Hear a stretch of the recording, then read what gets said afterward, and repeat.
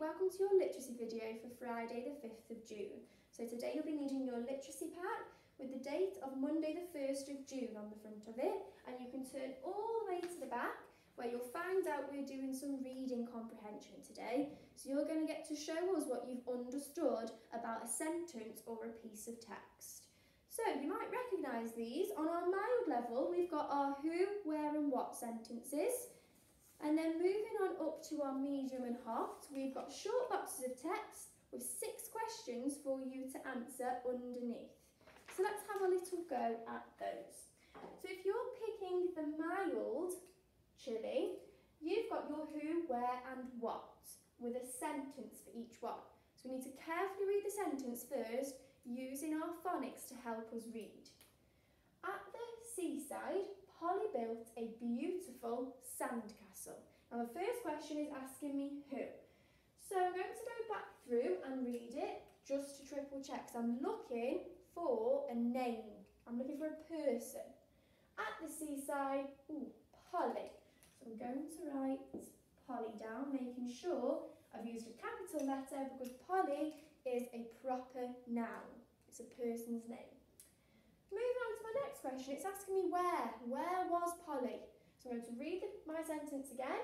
At the seaside, Polly built. Oh, I've already found it.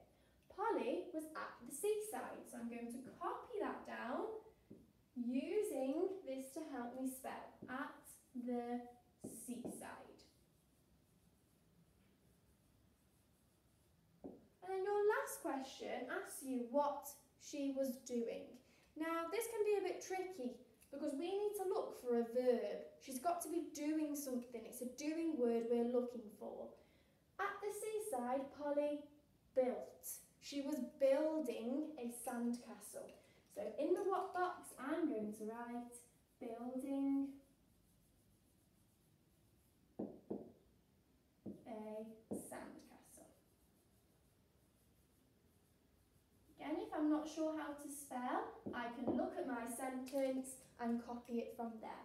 So that's the mild sheet. If we move on up to the medium sheet, you have got a text called Mr Snuggles Gets Lost. Now the first thing you need to do before you even have a go at answering the questions, you need to take your time to read this text carefully. If there's any words you don't understand, you need to underline them and you can perhaps ask someone at home what they mean or you could go on a dictionary and look it up online.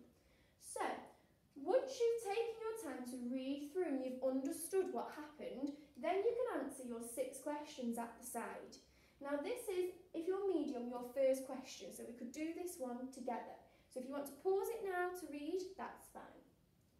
So, first question says, why did Bobby feel a little bit sore? So I'm going to use the skill of scanning the text because I'm looking for the words feeling a little bit sore, okay? So I don't need to read all the text and I can quickly scan through to find similar words to these. So I'm going to go through, reach. Ooh, Bobby flew forward, losing her balance and falling into the rack of full bags and cases. Feeling flustered and a little bit sore. So I found that phrase, a little bit sore. So I'm going to underline it. And I'm just going to go back because I think before then it tells me why she was feeling a little bit sore and that's what the question is asking me. So if I go back a little bit, it says Bobby flew forward, losing her balance and falling into the rack full of bags and cases. So what I've done is I've got my pencil out and I've underlined my answer in the text so I never lose it. So then underneath, on my lines, I can write number one and using this question to help me write my answer, I'm going to write Bobby felt a little bit sore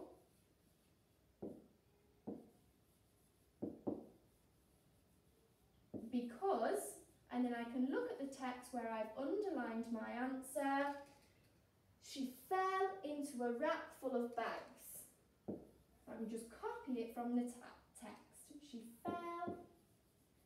Into a rack full of bags. Now if you are on and having a go at the trickier one at the end, so the hot chili, you've got a slightly different text. It's got some quite tricky words in there, so make sure you underline any words you're unsure of and find out what they mean first. But the same again, you need to read it all through first and then have a go at answering your questions, okay? So good luck, take your time in reading and use your phonics.